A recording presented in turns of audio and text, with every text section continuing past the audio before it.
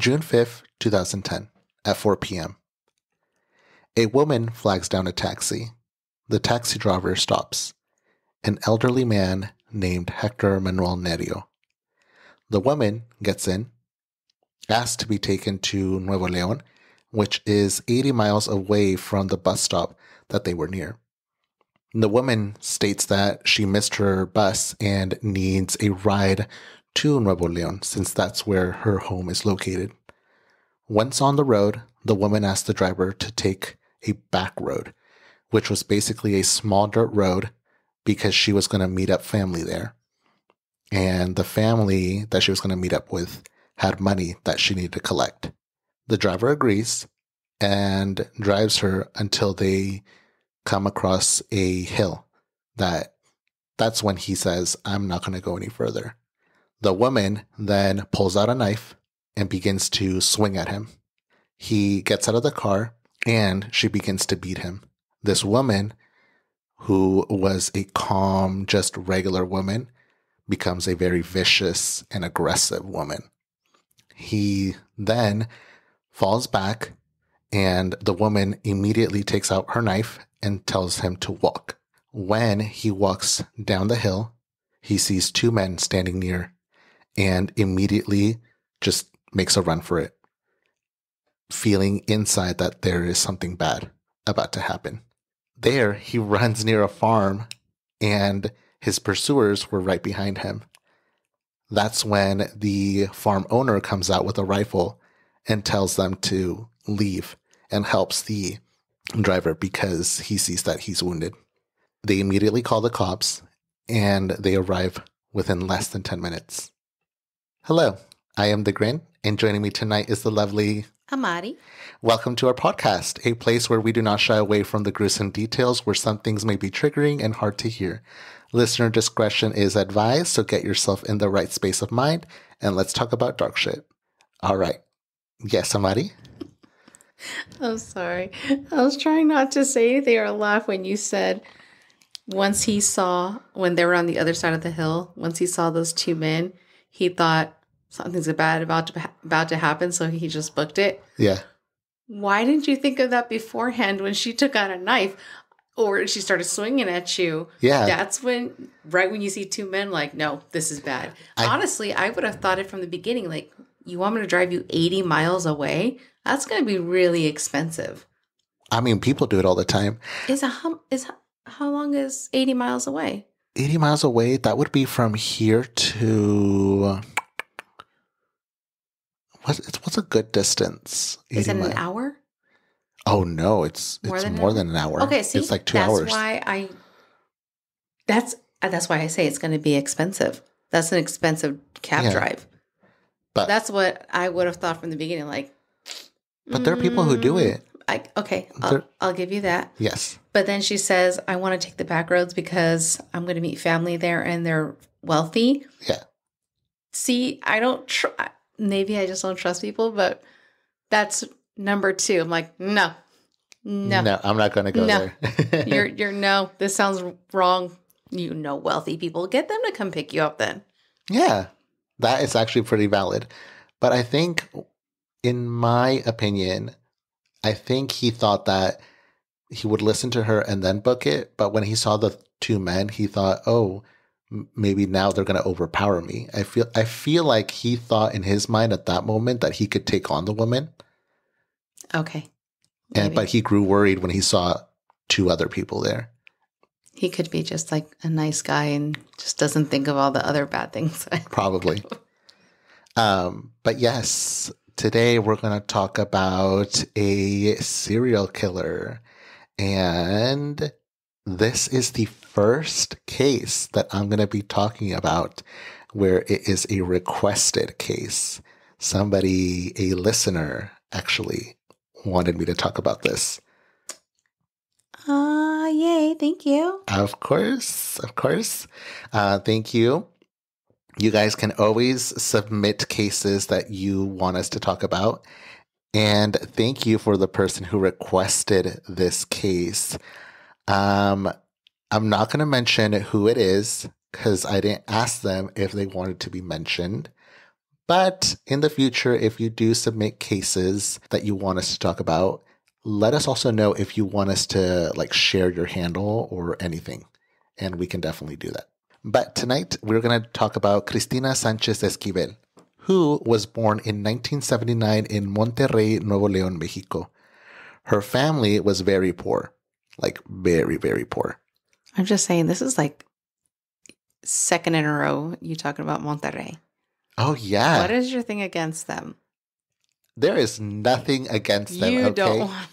You know what? like, I'm never visiting there. in my letting you know. defense, in my defense, this is a requested one. I didn't look into this. okay, I'll give you that. So yes, um, this woman grew up very poor. It was said that having multiple articles of clothing and undergarments was a luxury that her family just couldn't afford when she grew up. As a young girl, Cristina grew up being a victim of molestation. And on multiple occasions, many people around her who were supposed to protect her took advantage of her. Eventually, Cristina became pregnant at the age of 16 and gave birth a few months later. Her first child, a daughter named Maria, and then later on, as the years went by, she would eventually give birth to another five children. Since she was a child of abuse and neglect, she made sure to give all the love she can to her kids, wanting to make sure that she was always there and that nobody would ever take advantage of any of her kids. Neighbors described her relationship with her kids as very loving. She was a doting mother. She was always there for them. They also described her as a very hard working woman, working multiple jobs, jobs as a plumber, in construction, to help her family and help her kids. However, they also stated that when it came to her husband, she was a very jealous woman. Even though something that nobody knew, she was having an affair that she hid from everyone. An affair with a man that we will get into later. Now, there was also a part of Cristina's life that nobody knew about, a very dark part. She was a woman who was basically abused her whole life. And with that abuse came anger and she wanted to she wanted to take that anger out on very specific individuals. So, let's talk about June 5th, 2010 when Cristina was making her getaway with the taxi of the driver from the introduction, the cops immediately pull over the taxi and arrest Cristina since she matched the description that the driver gave. But police couldn't believe that this calm woman who just looked like honestly any other individual could harm a driver and the way he described her with somebody who had vicious looking eyes, they couldn't believe that this woman was the attacker. She cooperated and followed them, went to the went to the interrogation room. When she was asked why, she started to confess a string of crimes, crimes that they were shocked about. Now, police immediately started to connect some dots when she started to describe not only what she did to the first driver from the introduction, but to many other drivers, because the police also had a list of missing persons cases on their hands. And the way Cristina described a few of the men that she would torture matched the missing people's report. Now, all the men that Cristina attacked were all taxi drivers, and they were all men from the ages of 50 to 60, with the exception of one victim. They were all also last seen giving a ride to a woman who matched Cristina's description. When police showed her pictures of these men, she signaled the picture of Abel Hernandez, 68. She confessed, she confessed to killing him and disposing of his body in a well. She then went on to describe, without much remorse, the death of another driver who fought back. Fighting back was a big no no in her eyes. She wanted these men to just take it, basically. And if they fought back, that basically meant, I want you dead. So, are these people that are these guys that she's going after like one of the family members who molested her when she was younger? They were a taxi driver. No, but I have a theory. Oh, so you don't even know? You have a theory. I have a theory. Oh, okay. Which we'll get to my theory in the end. Right now, I'll present you the facts and you can make your own conclusions. While I make my conclusions along yes, the way. you can make your conclusions along the way. So she went on to describe the murder of a man who fought back. She described how it angered her, and she described how, after beating him and stabbing him, together with a few accomplices, the two men that were waiting on that hill, together they grabbed some rocks and basically stoned him to death. After they did this, they dragged the body to a well. This well is going to be a very significant thing in this case. Um, it's pretty important. They would dispose of the bodies of each of their victims in this well. And this well, she went on to describe or named it as La Boca del Diablo, which translates to Mouth of the devil. mouth of the devil. She stated that they needed to make sure to dispose of the body and not leave any traces. And the well was a perfect spot. Nobody goes there. It seemed like it was abandoned. And it there's no humans that live near it, apparently. Okay, I was going to say, I'm like, is it somebody's drinking well? No, well, it is a drinking well, but nobody lived near there, according to reports. That's how zombies are made. Yeah, right.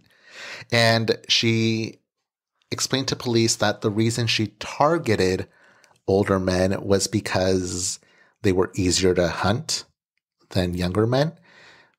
Um, it was harder for older men to fight back, basically. They did, but they had no chance against Cristina.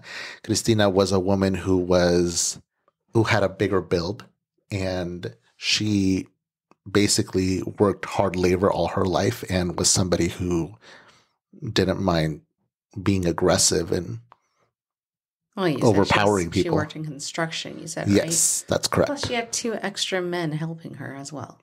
Exactly. And the two younger men, they were younger actually. The two men. her kids. No, Okay. No. I was like, oh, no. I was like- no, she didn't. She never crossed the line there with her kids.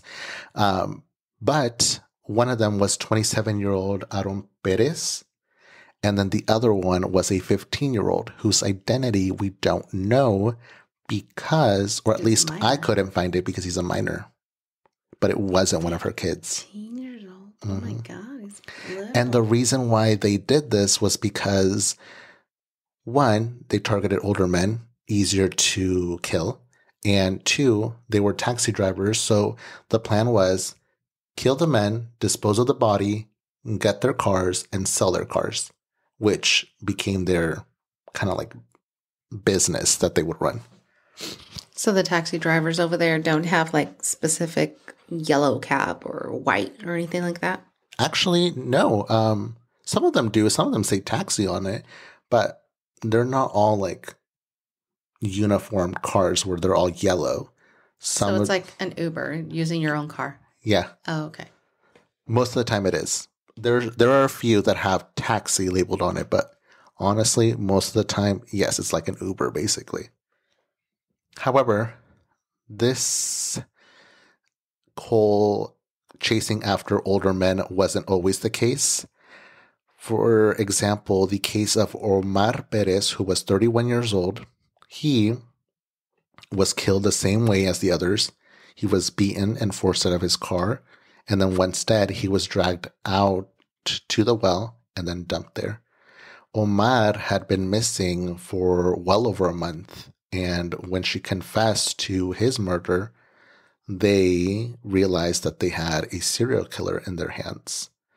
On June 7, 2010, when police realized that this woman basically confessed to disposing of all her victims in this well, they decided to, along with a few family members who had reported their family missing, gathered near this well that Cristina directed them to. And the police, what they did is they used a camera and connected it to a pole and then basically brought it down to see if they could see any of the bodies still there. They couldn't. That well was very deep. It was very dark and they didn't see anything. However, when they pulled the pole that pulled the camera out, they saw pieces of hair wrapped around the camera and blood on the pole. There was hair. There was hair. Wait, so that means some of these guys actually had long hair. Yes. Unless there was a woman in there. Yes. There was they never attacked any women. So they say. Oh, that's so. That's how they figured out. Like, okay, there's something down there because there's there's hair right here. There's hair. There's human hair. oh no. Yes. And that's when they decided to hire experts to go into the well and try to recover a few of these bodies. They managed to find a photograph of a young girl. That's when they realized they found another victim, Abdiel Mendoza Hernandez, who always carried a photograph of his granddaughter with him. Oh. And that was the image of the little girl that they found. He had been missing for two months. Police continued to question Cristina about her victims, to which she confessed to the murder of her lover as well. That affair that she was having, she grew tired of it and eliminated Martin Tovar Zavala, who had been missing for over a month. That makes sense. It's easier than to break up with somebody. Just murder them. Right? It's so it's so. That makes easy. sense. I don't have to hear from you ever again. You can't call, you know, call me or come crawling back or whatever. Just kill them. Yeah, just be gone with it or be done with it. On June 10th, a man arrived at the police station claiming that he had also been a victim of Cristina and survived. So, this individual stated that he gave Cristina a lift, and when she decided to basically tell him to go in the middle of nowhere, she took out a knife and began to stab him. When he pulled over, she forced him to the trunk of the car and then she sped off. That's when he kicked the trunk door as hard as he could and then made a run for it while she was mm-hmm. driving. She pulls over and he described that they were in the middle of nowhere. He didn't know where he was, but it was just a big open field and she began to chase him. Luckily, there were a few bushes and he hid between these bushes and Cristina must have given up and just went back to the car and drove away. You know, it's crazy now. Now, a lot of cars and their trunks, they have um, a way to unlock it from inside the trunk. Oh, Like really? there's a button or something you pull that opens a trunk. I didn't know that. I know that because long ago I had a Cadillac and the trunks are huge. They're insanely huge. Yeah. And I think one time I was talking about like, oh, you know, anybody can get like stuck inside of there, and then it came into a conversation about like mob mob bosses and stuff like. That. Anyways, Using Cadillacs. I think I think they were used, but inside of it, and we got curious and looked inside, like, oh my god, there's a way to unlock it. That you can actually open the trunk from inside. Huh. So I wonder if not just Cadillacs have that, and this wasn't. You said this happened in 2010. 2010. I think I found this out about oh Around the same around time? the same time actually. oh. Uh, to 2011 is when I found out that it had it. Now I'm curious because I did not know that. I might just look in my car. I know. Everybody check your cars. Everybody crawl See- into your trunks and see if you ever can get happens, out. you'll know. Just don't lock yourself in there. Make sure you take your keys with you. so he ran and hid in, hid between some bushes, and he realized that he left his phone in the car. Cristina drove off with the taxi car, and his wife, back at home, began to grow worried because it was getting so late and he hadn't arrived home yet. So, what she did is she immediately started calling him. Cristina, being near the phone, picked up and basically told the wife, I'm having an affair with your husband. Do not bother us. Stop calling. Oh my God. Yeah.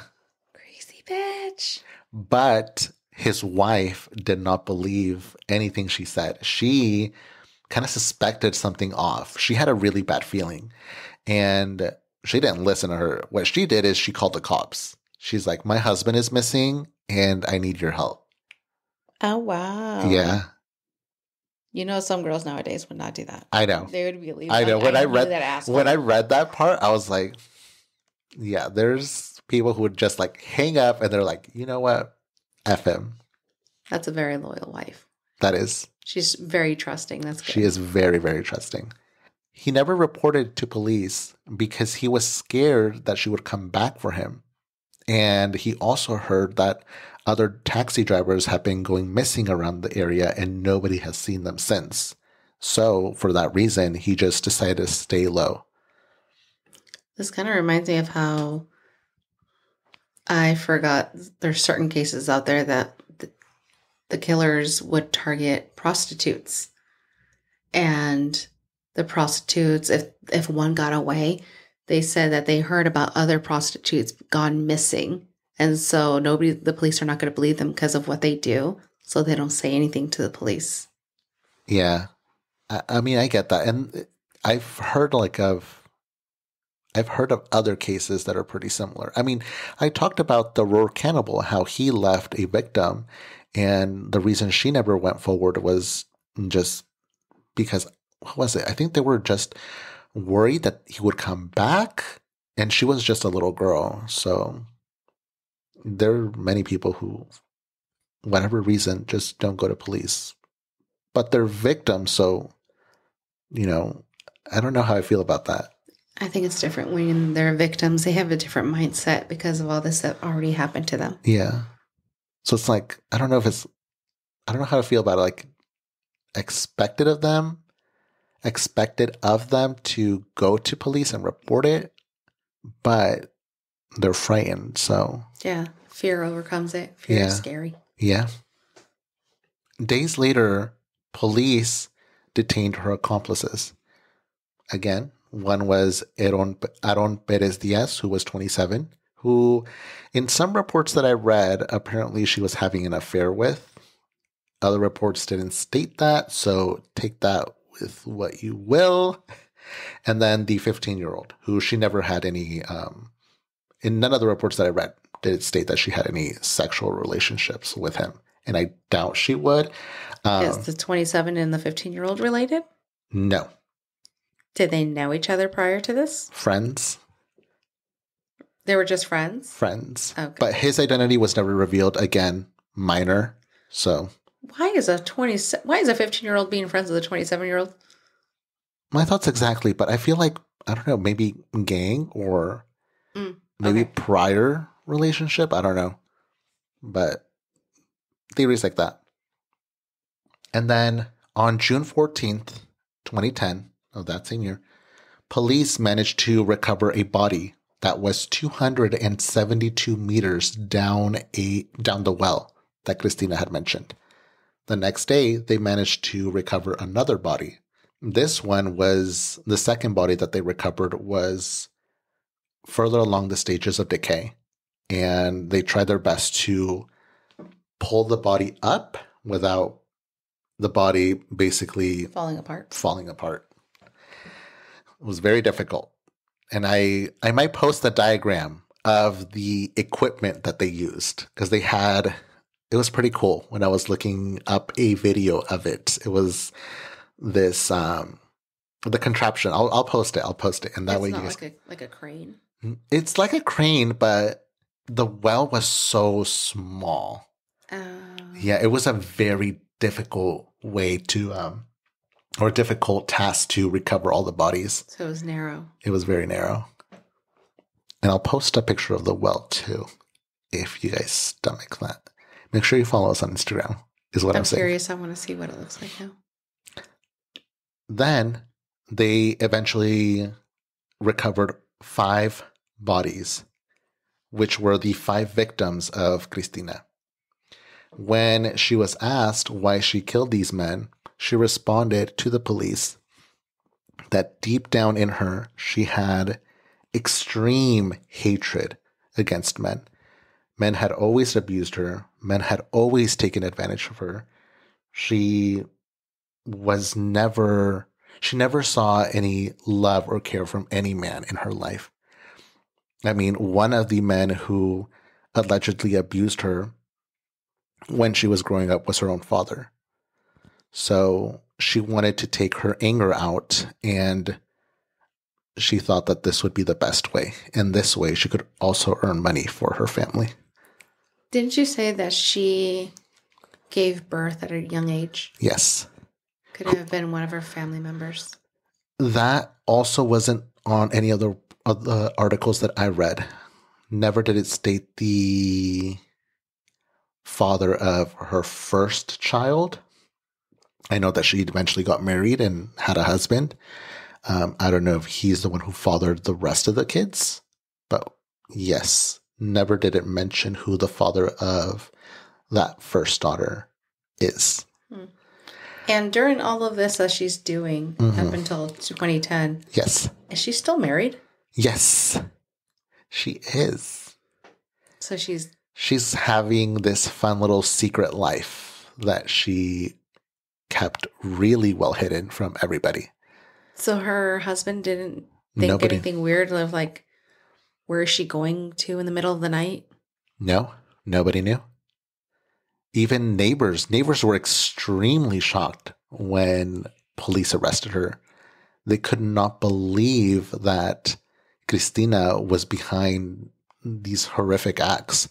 And honestly, when I was looking up the articles for this case, most of them literally were titled Loving Mother Gets Arrested or Loving Mother Turns Serial Killer. It was all like mother this and then vengeful killer. Is it because oh my god, she's a mother who is not mal you know, mistreating her kids? I think so. Because it's not always the case, but in a lot of the cases that we come across in true crime, the abused, uh, the abused Abuser. child basically grows up into an abuser and mistreats their family in very horrific ways. This wasn't the case. She wanted to do the Well, opposite. She did it Well, outwards of her family. correct. She made sure never to harm her kids. She redirected. Yes, that is correct. Horrible.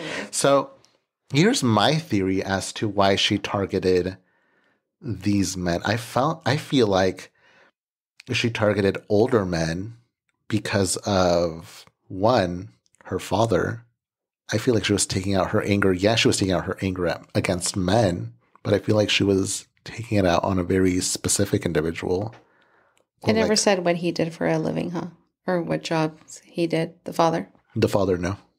That's what I'm thinking. Like, I wonder if it was, like I said in the beginning, taxi driver, one of the family members who did something to her. were- Possibly, but no, it never stated anything aside from her being abused growing up. We don't know much about her upbringing, upbringing aside from that, and um, her having kids at a young age. I don't know what to say. I'm like, I don't know if I want to say that. Are they not saying it because it's obvious? They're like, oh yeah, the it's obvious that the father, her father, is her firstborn's father. It's obvious that you know he was the he was also driving car, cab, or whatever at one point. I don't know if Could I want to say be. that. It, it- I mean, it could be. It's it's a valid theory, um, but we just don't know. She never stated who the father of her daughter was. But Cristina was eventually sentenced to 195 years in prison for the death of five men. And then Aaron was sentenced to 152 for his involvement in the crimes. The fate of the 15 year old was never revealed. I'm assuming, hopefully, there was some justice served and he also got some time, but it, I couldn't find anything of what became of him. Like I understand him being a minor, they're not going to say his name, but they're not even going to say what he received. No.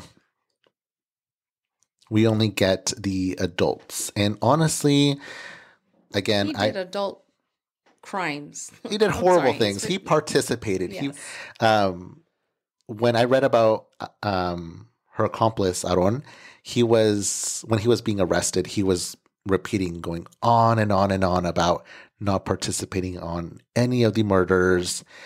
First of all, he got arrested and the police didn't mention any murders. He gave himself up. Stupid.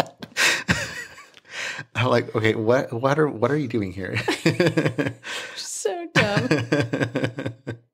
I was pulled one you of over for jaywalking. I swear I didn't kill him. Who are you talking about?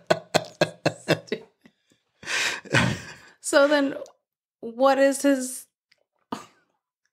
So he's saying he never killed anybody. So He's what, saying he he, was ki- just in the area and all five ti- five times and just happened to see her do this. yeah, ap- apparently. And it was late so. in the night, so we just carried rocks with us. Yeah. Like, what the so stupid. Um, but yes, I'm glad justice was served there, and he, little sleaze, got the 152. Um, but I guess according to this is something I didn't know. I don't know if it's it was just back then, if it's something that's still going on now. I guess it doesn't really matter because Cristina was 31, he's 27. Or I guess it does. Um, they serve they have to serve 60 years according to what I read and then they're eligible for parole. So it doesn't matter what you did, it's 60 years. I guess so. Which I thought was very odd. Or maybe that's just what the judge gave. It could be, but it said under Mexican law. Oh. So if somebody's very familiar with Mexican law and how that works, let us know because I would imagine you get the sentencing and then you have to serve the certain amount of time and then you're eligible for parole. But then again, that's me growing up in America and that's how it is here. I don't know if they just run things a little bit differently. So you have to serve 60 years and then you're eligible.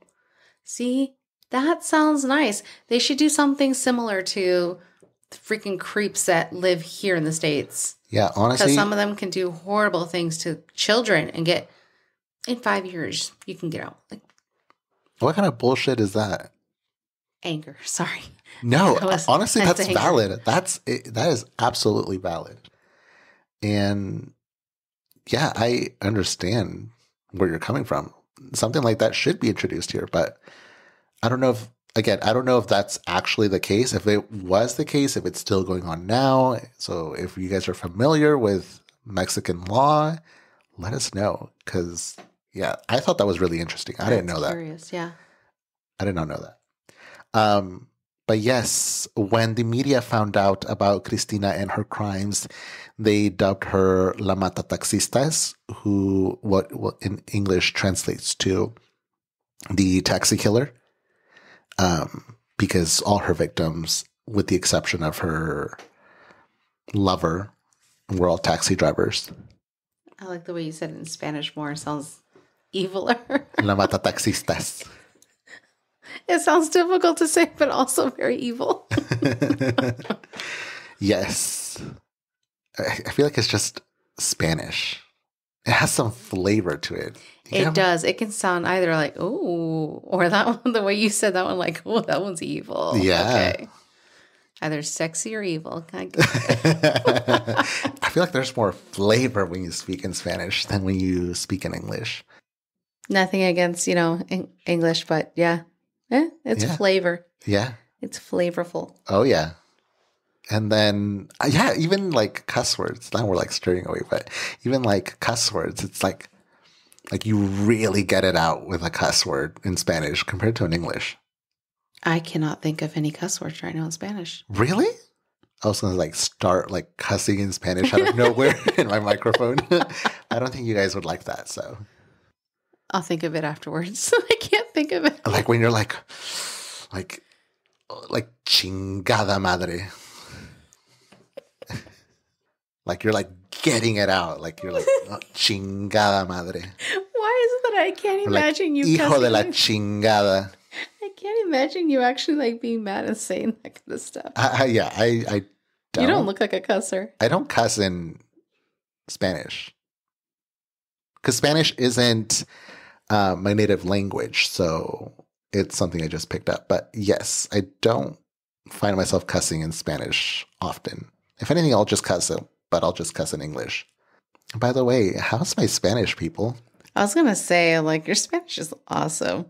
Like, you could say the most difficult sounding words, names. Just, it's pretty awesome. Thank you, thank you. I was like, I want to throw that in there so that way people can be like, "What? You're not a native Spanish speaker?"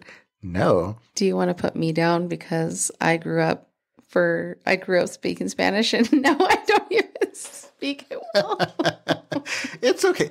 Honestly, like, thank you so much for thinking that my Spanish is good. My Spanish is not that good. Honestly, when I go and listen to other people like speak Spanish and like how they like really like have a full on conversation, like a long conversation, I'm just like, wow, that that's pretty cool. Like, sometimes I find myself stumbling and trying to find the proper word to express how I feel, but then again, that's me in English as well. So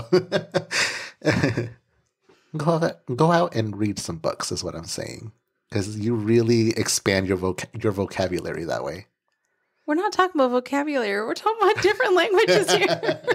but that's how I learned By reading in Spanish? by by just reading in general, discovering words, finding out what they mean. Oh, I thought you were talking about how you learned to speak Spanish. Uh, but yes, that is the case of the matataxistas. I'm going to say it one more time because Amadi over here is just like dancing to it. um, yes, it w- it's a short one, but it's one that was requested. So I decided, hey, why not? I'll talk about it. I will be posting pictures of some of the crime scene and the device, the crane that they used, uh, the diagram that they had, basically. I'll post that on Instagram. So make sure you're following us. We're at Let's Talk About Dark Shit. I realized when I was editing a few of my past episodes that I never, or we never mentioned our at. But we're at Let's Talk About Dark Shit on basically everything. So, I thought you just say the names. You have to say the at part? Yeah. Oh. Horrible social media. I know, like, forgive us. I thought you I thought it was maybe a given or you could just write let's talk about dark shit and it just pops up. You have to do at. Ah, if you want to find them. I thought you just go to YouTube, type let's talk about dark shit Oh, podcast and then it pops up. I think we pop up pop up now. Now that we have like a few listeners under our belt and we have a few more subscribers, um, but I don't know if we mentioned it. I think we mentioned it a long time ago, but we haven't mentioned it recently. Uh, on YouTube, we're let's talk about dark shit, but we without the I in the shit because of YouTube's regulations. Yeah, it wouldn't let me post it. yeah, we were trying our best, but they thought it was a step too far. Yes. So on YouTube, let's talk about dark shit podcast. On Instagram, it's just let's talk about dark shit. Yes. And so is our name on TikTok. Yes, even though TikTok only has like four videos, but yes, it's you know, the same go, thing. go follow us there. Why not? um, but yes, anything you want to add, Amadi?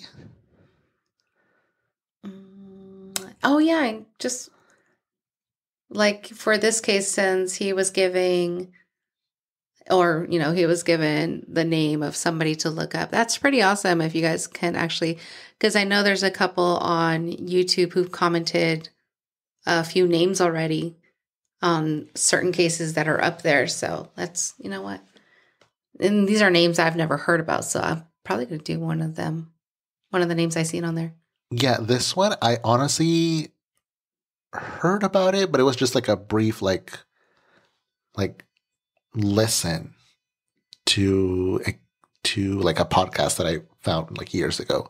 But it's not one that I actually full on like look in, looked into. Even though um there's not much aside from her reasoning behind it and how she basically killed them. But yes, if you have some requests, let us know.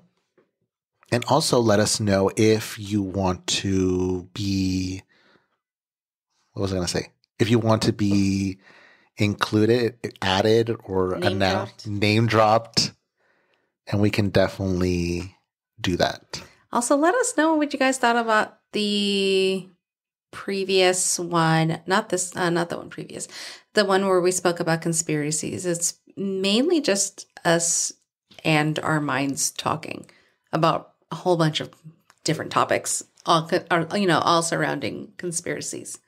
Yeah, I felt like that one was a bit of a ramble. Um, my sister listened to it and she was like, "You guys went off topic and started talking about something completely different, but I'm still enjoying myself." And I was like, "Thank you." Yeah, But so let us know. Is this some? Is it something that you guys like? It's mainly just us talking, like regular. yes, Do you guys like us talking about that kind of stuff, or do you guys like it regulated, where we actually talk about one certain case?